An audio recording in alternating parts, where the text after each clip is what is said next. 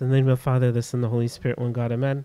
Um, today we're going to go a bit old, old school. I'm going to go back to the basics. We're just going to do a, a, very short introduction of one um, part on the scriptures, um, and then I'll leave it at that. okay. Um, so.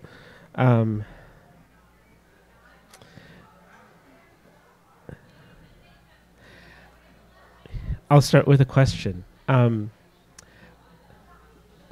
then don't misinterpret the question, but are all books in the Bible created equal?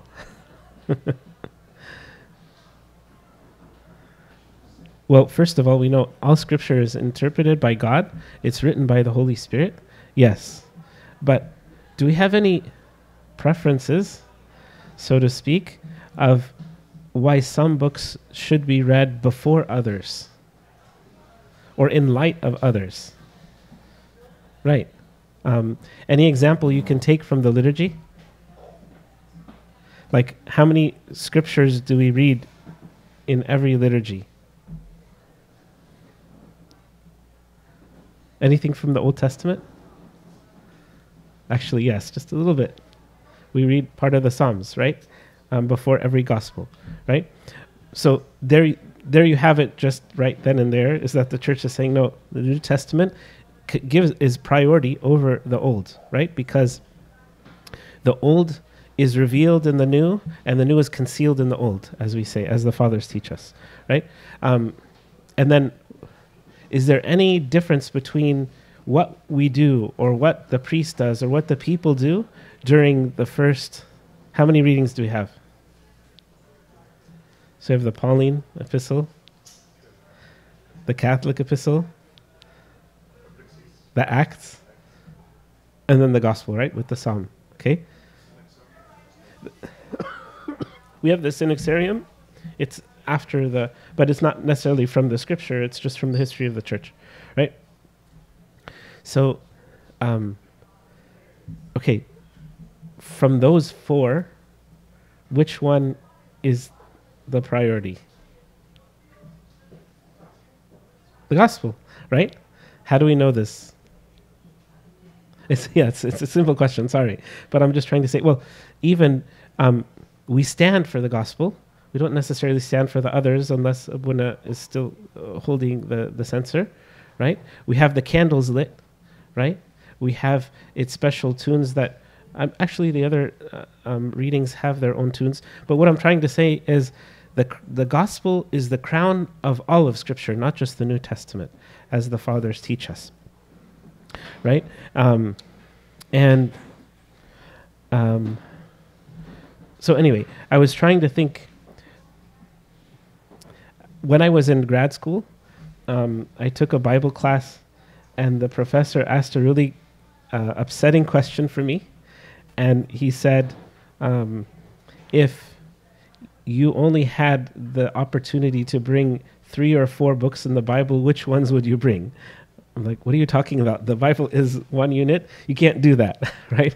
you can't like start pitting one book against another. Um, but anyway, um, we know for sure that this the, the gospel is, like I said, the crown, right? Um, because it's the life and teachings and words and and um, uh, the, the life of Christ himself, right? Which is everything is pointing to or coming, shining from um, those events, okay? But in, in the gospel itself, if you had to select a certain passage that kind of sums it all up, there's no right or wrong answer for this. Any answer? Yes. Very good. So one verse it's, uh, um, has to do with the salvation and the love of God. Very good. Again, there's no right or wrong answer. Anyone? If, if there was a, a place in one of the four Gospels that you would kind of say, this is like the summary of all teaching uh, of Christ So again, there's no right. But for me, I guess Um, if you look at, uh, I was reading, I don't know how accurate this statement is, but one of uh, the Bible scholars was saying that um, based on the comment, commentators, um, even from the church fathers, on which parts of, of the gospel were the most, um, he, he wrote that the first is the transfiguration, which was a surprise to me. I didn't think that was true. Um, but then he said, secondly, was the Sermon on the Mount. Okay? Um, and, or I consider this as a mountain of a sermon, right? So today we're just going to briefly um, go over this. Excuse me. St. Augustine, he says that if a person will devoutly and calmly consider the sermon which our Lord Jesus Christ spoke on the Mount, I think he would find in it as measured by the highest norms of morality, the perfect pattern of Christian life. Okay? So if you want to say, what is the best description of the perfect Christian? St. Augustine says, Sermon on the Mount, hands down. Right? And I believe him. Right? And he says, every formative um, precept of the human, of man, uh, of the human life is found in it. Right? Um, and it's basically, others call it the constitution of the kingdom of the new covenant. Um, and if you look, so where do we find it? Easy. I'm going to ask easy questions today. Matthew 5 and 6 and 7. Okay, thank you. Um, so these three chapters, um, I, I, find, you know, a lot of times um, some confession fathers or spiritual guides will recommend if you have an issue, if you have a problem, if you're trying to learn to repent, if you're trying to grow, these are probably the, the first three chapters you can go to. Sometimes we read scripture to grow in knowledge. Some oftentimes, or more more importantly, we need to grow in the spirit, right? And um, especially when we come to repent, or as St. Paul says, we need to see ourselves as, as when we look into a mirror right, in order to grow, right? Um, so oftentimes, reading scripture helps us to provide that mirror so that we can ask God to make those changes in us. Okay, um, so um, those three chapters basically have um, three different parts to it. Primarily, um, chapter 5 can be broken into two groups. The first one we pray um, every day in the sixth hour, which is the Beatitudes. Blessed are those, right? And we'll, talk about that in a minute, right? Um, and then the second part is basically the application of the new covenant, okay? Um, and then chapter six talks more about um, the, the spiritual life, right? Um, or the law of Christ, which is like the prayer and the fasting and the giving. And we, we select a lot of um, uh, portions from that in the beginning of Lent, as you'll see. And then chapter 7 um, is more of the relational life, right? How we, we deal with our fellow brethren if we have the right teachings and we're growing in, in the faith and in the spirit. What, what does it look like in the world and how does the Christian deal with other people? Right? Um, and that's actually where we find the golden rule, right? Is, is found in that uh, seventh, seventh chapter. So to summarize, though, chapter 5 is more of uh, the, the relationship of the Christian with himself or herself. Cha- chapter 6 is more the relationship of the Christian with God. And chapter 7 is more of the relationship of the Christian with others, Christian and non Christian. Okay? Um, and so, as you can see, it applies to so many aspects of our life. Um, and I was doing just a little exercise the other day about, you know, how many different pointers or different subjects or topics are mentioned in these seven chapters. Uh, I'm sure I missed a few, but I counted at least 40. Um, so that, that's a lot of topics. You know, some, some chapters or sections of the Bible is just like one main topic. Like, for example, you know, Proverbs focuses on wisdom, or 1 Corinthians 13, love, right? But but these three chapters is, is basically the whole gamut of, of life. um, so many different aspects. And maybe if there's time, I can start describing um, what, what you'll find in there. Um, so, uh, by the way, if, if anyone wants to go deeper in, in this, like, and uh, so the whole purpose is this is just trying to, to get your minds thinking more of ha- here's a place where I can go deeper into, into um, every verse and every phrase and every word, right? Um, and so um, I just give a general introduction, but how does it start? It says, and seeing the multitudes, he went up on a mountain, right? But if you um, rewind a little bit, so that's chapter 5, that's how chapter 5 starts. And, and by the way, um, a summary of this will be found in, uh, can also be found in the Gospel according to St. Luke chapter 6, and we'll talk about that at the end, okay? Because um, there's some differences here. Um, but um, chapter 4 of uh, the Gospel according to St. Matthew talks about the baptism of Christ, the temptation, right? His, the calling of his disciples, right? And then the healing of the multitudes. So multitudes come to him and are healed, and then he gives this teaching, right? Th- that's why he says, and seeing the multitudes, he went up on a mountain.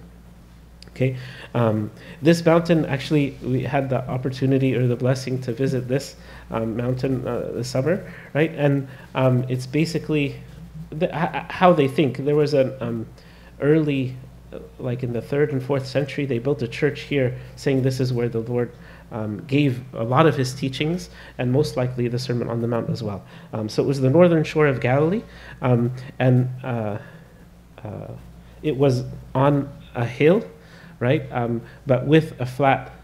We'll get to that in a minute, but like a, a flat plain on top of the hill, right?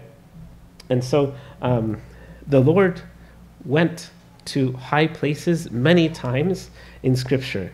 And this is an important aspect. Like um, anyone can recall any other places in, in the gospel where the Lord went up on a mountain. Transfiguration, very good, very important, right? So God is giving his glory in a high place, right? What else? ascension, right? The Mount of Olives. We also visited is on high place, right? Um, uh, and uh, even the angels said, you know, the Son of Man will come in like manner, re- relating to the second coming. What else? He prayed in Gethsemane, in the garden, um, but it was close to the Mount of Olives. Um, but you're close. During the temptation? Uh, the temptation was very high, um, and like we had to take cable cars just to go up there. It was it was super high um, and hot as well. Um, so it, it shows that when we ascend on on a spiritual level, there's going to be trial and temptation and tribulation, and that goes without saying, right? One more important mountain. There's others, but like we probably missed the most important out of all of them. Sorry? During the crucifixion? Yes, the, the, the Lord was uh, crucified, right, on, on the Mount of Golgotha, right? Um, because, uh, well, it, it's a long story, but the, we, we say, as St. Athanasius kind of says, that the cross is the gateway um, to, to heaven, and he sanctified the way between heaven and earth, right? So it had to be above the earth to show that you know he's above all but also to show the way or to pave the way for us to ascend okay? Um, so um, this shows that the high points that the lord went to were intentional because we need to ascend above the worldly things. We need to lift our minds above the worldly things. We have to grow in the spirit and sometimes the even the physical circumstances helps to get away from from our normal um, the things we, like you know work and school and all of that okay? Um, and so um, like saint jerome says the lord went up the mountain that he might bring the crowds with him to the higher things okay?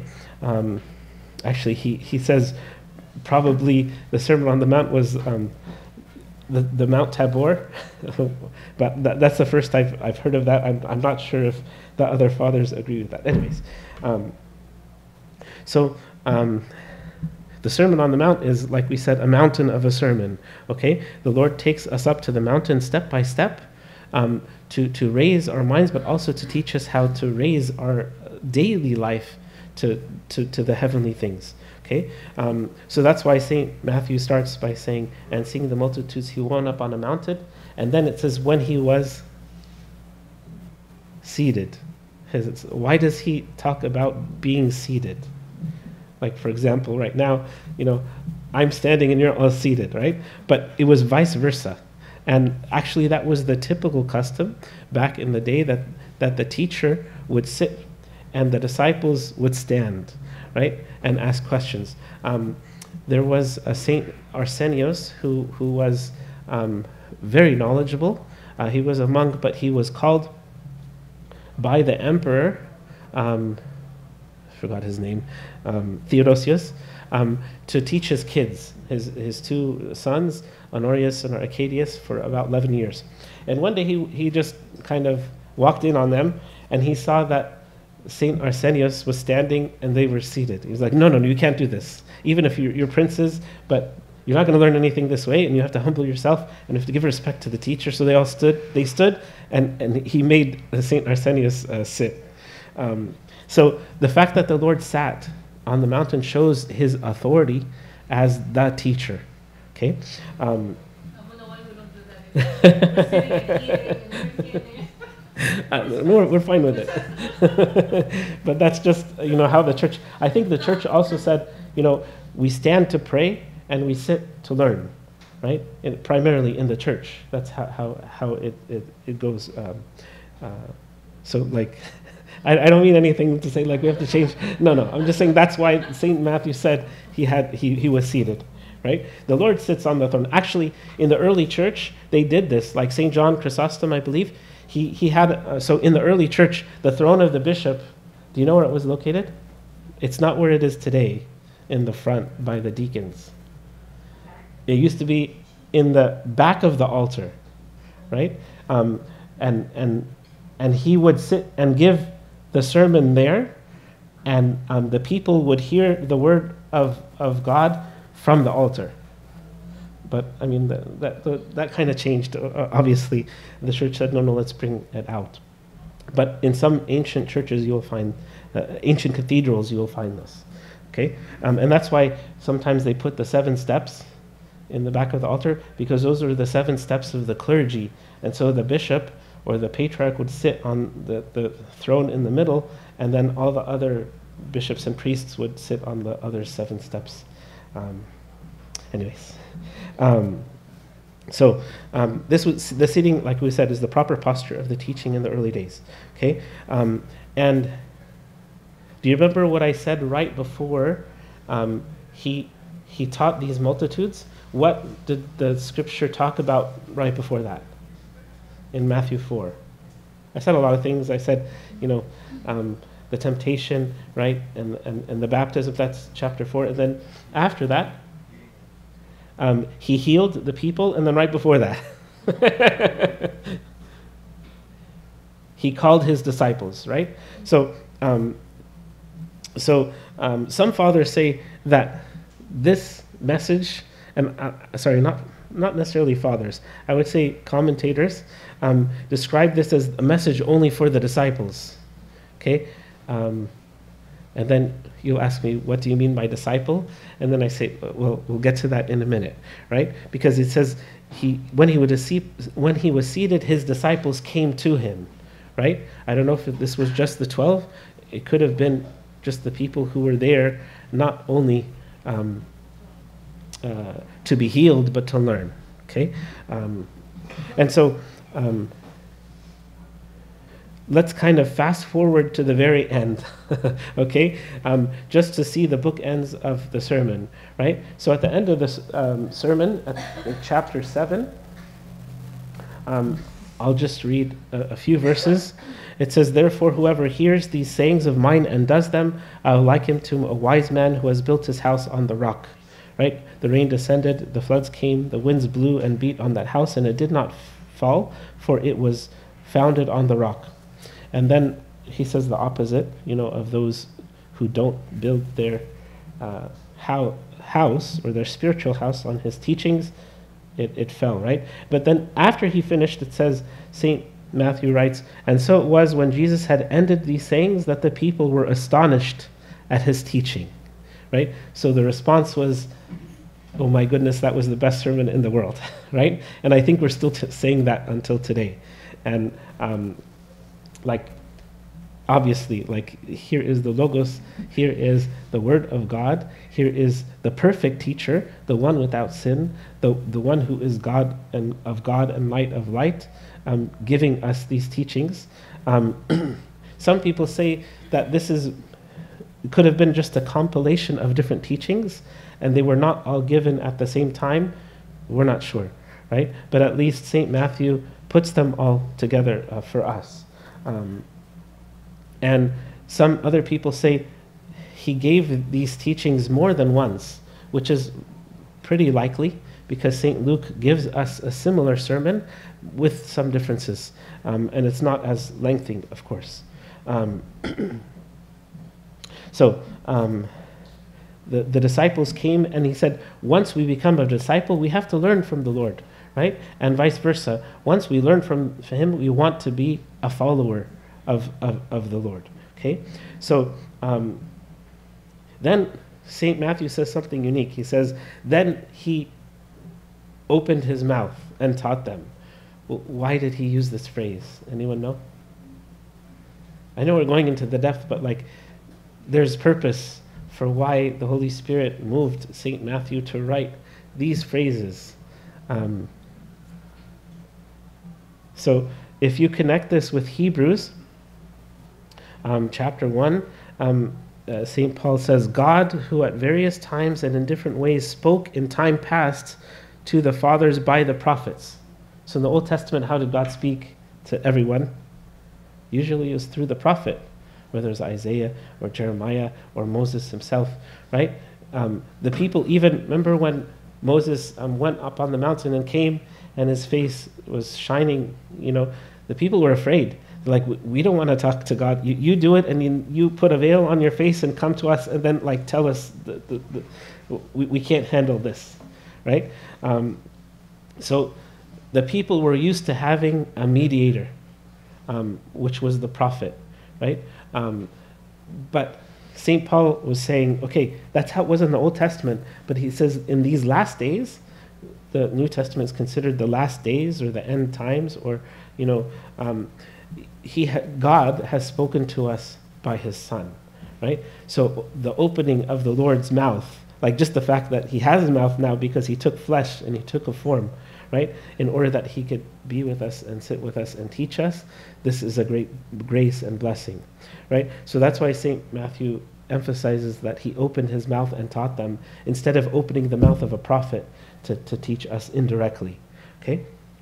Um, like St. Augustine says, he opened the mouth of prophets, now he opened his own mouth, right? Uh, or St. John Chrysostom says, he first taught with actions, then um, now he's, he's taught with words, okay?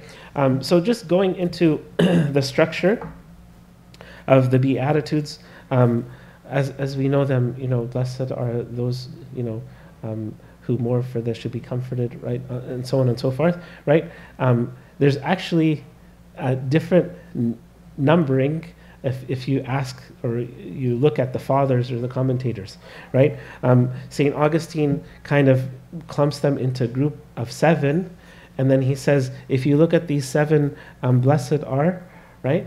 Um, for theirs is, right? You will find also attached to that the seven gifts of the Spirit, right? And then he said also, you could summarize the Lord's Prayer in chapter 6 um, into seven parts, and he connects these sevens, these three sevens, right? Um, but most people actually consider these Beatitudes as eight. Um, and if you visit the church, like I was saying on the um, of the Beatitudes, they built it in octagonal shape to, and they put the, the eight main virtues of um, the Beatitudes up there. Um, and other people will say, well, it's not seven, it's not eight, but um, there's a ninth one, you know, the blessed uh, are, are, are, those who are persecuted for righteousness' sake, right? Um, and then, but there is no, um, let me get it. Sorry. Um, so, blessed are those persecuted persecuted for righteousness' sake, for theirs is the kingdom of heaven. Um, that's the that's the eighth one. And then the ninth one is, Blessed are you when they revile you and persecute you and say all kinds of evil against you falsely for my sake, right? But there is no reward because it's attached to the one before. So they say that's nine. And then, um, who was it? Uh, uh, I can't remember which father said, no, they're 10 if you include um, the, uh, the rejoice and be exceedingly glad.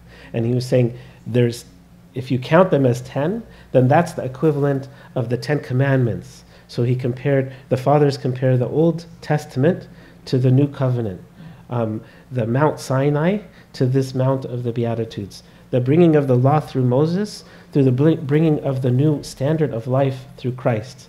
Right? He's saying, um, and Christ said, you know, I did not come to abolish, but to what? To fulfill and to complete. So this um, 10 thou shalt not, don't do this, don't do that, uh, was translated into blessed are you if you do this, right? Um, and so um, the five books of, of the law, um, one of the father's comments, well, if you look at the gospel according to St. Matthew, there's five different chapters um, or sections where um, Christ gives the teaching. Like here's one chapter 5 and then chapter 10 and then chapter 18 and then chapter 23 to 27 so those so the five books of the law are now renewed in the five teachings um, main um, sermons of, of christ and then the 10 commandments actually there are about 613 commandments in the old testament now is translated or simplified um, or focused on you know these beatitudes and then if you remember the gospel of today um, the, the lawyer said, Well, what's your reading of the law? Right? Summarize it even further into what? Love, right? Love of God and love of your neighbor, as Abuna was saying today. Okay? Um, and even the location of Mount Sinai, like with the thunder and the lightning, right? If, if you go to this place, it's actually very peaceful and calm and tranquil compared to all the other places in Israel. You know, um, how um, even in some of the most holy places, there's a lot of uh, tension, right? But you go to this place and no, you don't, you don't feel it. And even some of the commentators will write this. Um, so anyway, the whole idea is that um, God spoke to Moses face to face on Mount Sinai, but now he comes to the multitudes himself and speaks to them with, with grace. Okay? Um, so um, that's kind of like just the, the basic introduction of, of the, the Sermon on the Mount. And like we were saying, the first parts are, are the, the Beatitudes. The blessed are those, you know, for they shall, you know, receive this, right? the way that leads to the joy and blessing and happiness, because um, the word makarios is different than, um, uh, like we say blessed, right? But it's, it's a lot more than that. I think we, we talked about this in a sermon a couple months ago. Um, but the word itself is, is rich of, with meaning, not just of having a blessing, but also being joyful um, and, and filled in the Spirit. Okay? Um, and so um, we don't have time to go through each one of these um, uh, because every phrase or every sentence of the Lord can be a sermon in and of itself.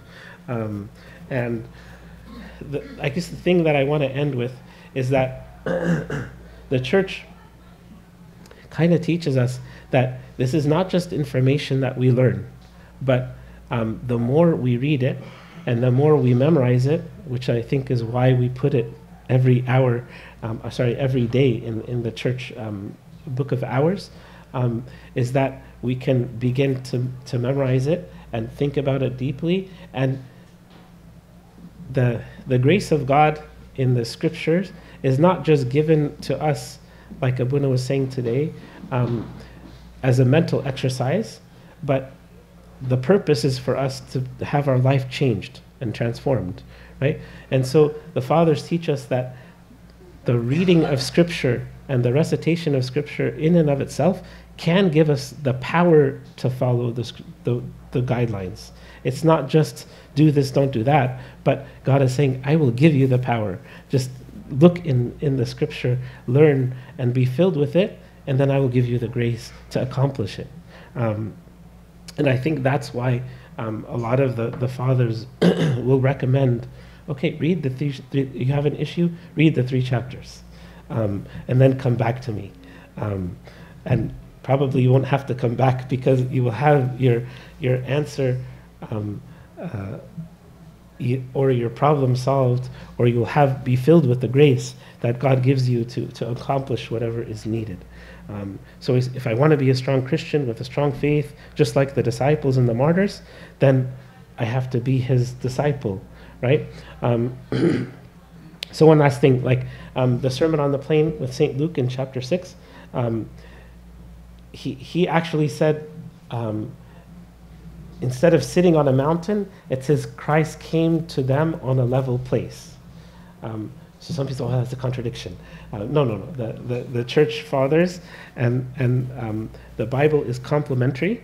but like I was saying, even geographically, there is a plain on top of the mountain, um, what, which, which gave the opportunity to build all those nice things, right? Um, the other thing was that the Lord comes to us, um, and uh, so here he's standing. In St. Luke is saying that he's standing. Um, but, but the idea is like he's giving the message not just to the disciples, but to all nations. And that's the theme of St. Luke, because St. Matthew wrote to the, to the Jews and he wanted to convince the Jews okay, uh, God, uh, selected you for a time to be his special people, um, continue in, in following Christ. But St. Luke wanted to say, no, no, God came and Christ came for all. Um, and so that, that's why he emphasized the fact that he came and spoke on a level place. Um, he wants everyone to become his disciples, not just the 12 or the 70. Um, and so our goal is to follow in the footsteps of the disciples and the martyrs um, and to endure the temptation and to go to the cross and to witness the ascension, all, all the same things that the disciples went through. Um, physically, we want to taste spiritually. Um, and so the first part of living it is learning it. And so that's why we want to be as familiar we can, as we can with these three chapters. And I'm sure um, a lot of you, when you read, it will bring back memories of maybe when you learned this for the first time in Sunday school, or um, a lot of the things that we sometimes take for granted in our daily life. Uh, like this is, we say, oh no, this is just knowledge, but my life is different.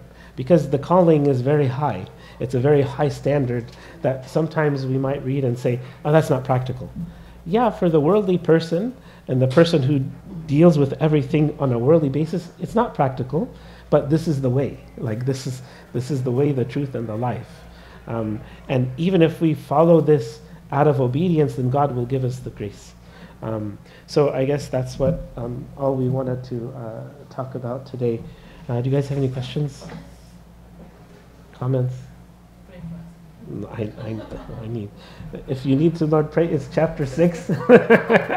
um, prayer and fasting and giving the chapter six, and even has our Father prayer in it. Anything else? Okay. Glory be to Him now and forever into the age of Amen. Stand to pray. Father, Lord, through the intercession of all the choir of the heavenly saints, hear and have hear us and have mercy upon us and make us worthy to pray thankfully. Our Father, who art in heaven, hallowed be thy name. Thy kingdom come, thy will be done on earth as it is in heaven. Give us this day our daily bread, and forgive us our trespasses, as we forgive those who trespass against us Lead us not into temptation, but deliver us from the evil one. In Christ Jesus our Lord, for thine is the kingdom, the power, and the glory forever. Amen. The love of God, Father, grace is only begotten Son, our Lord God and Savior Jesus Christ, and gift, fellowship, the Holy Spirit be with you. Depart in peace, and the peace of the Lord be with you. Thank you for your time.